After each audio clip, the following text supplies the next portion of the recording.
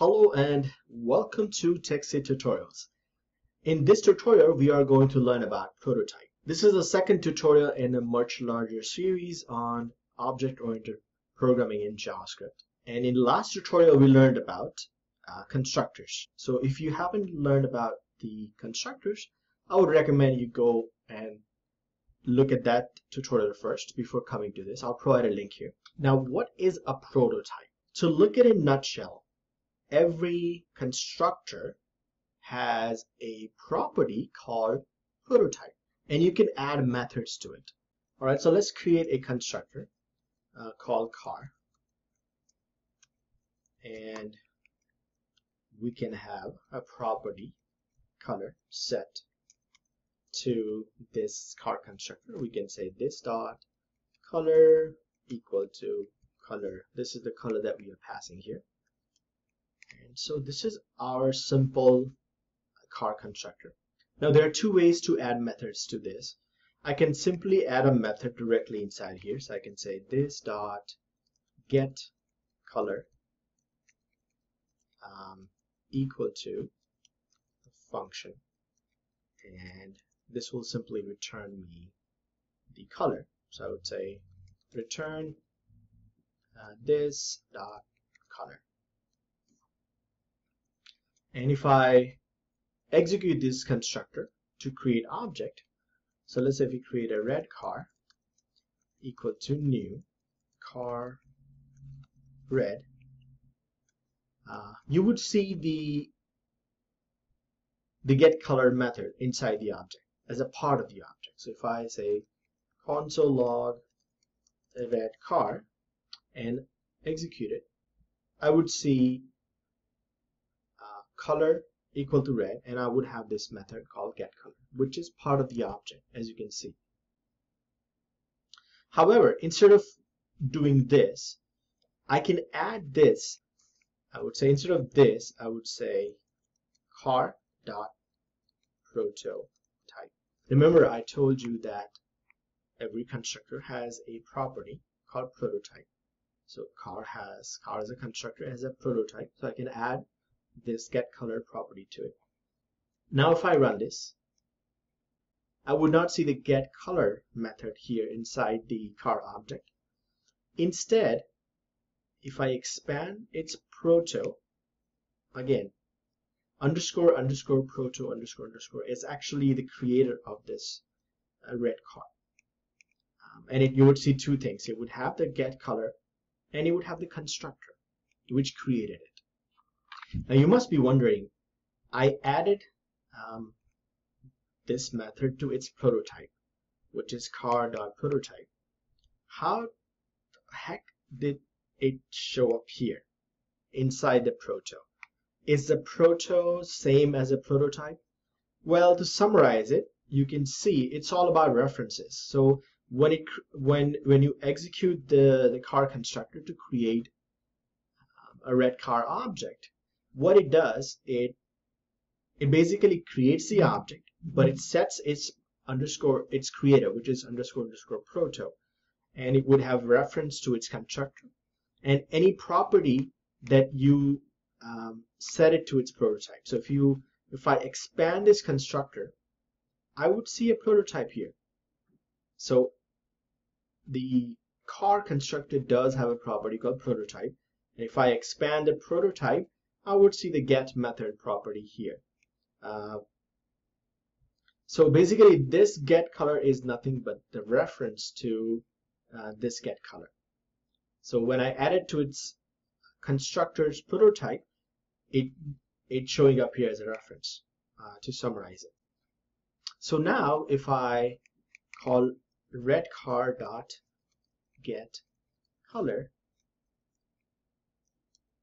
and execute it, I would get red. Now, how does how does this whole thing work? So let me go back to look at the red card again.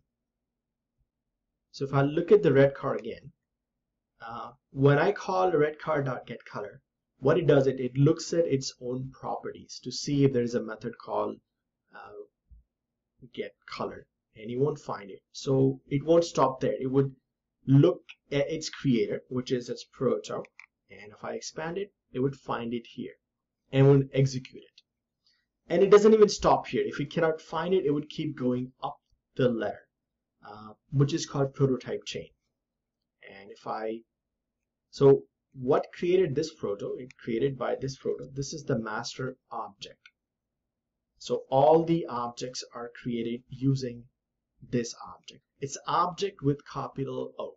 And as you can see, it also has some methods. For example, it has this toString method. So let's say if I call redcar dot toString. Now this method is not inside the object or its creator. It's it's inside the creator of the creator, which is the this root or master object.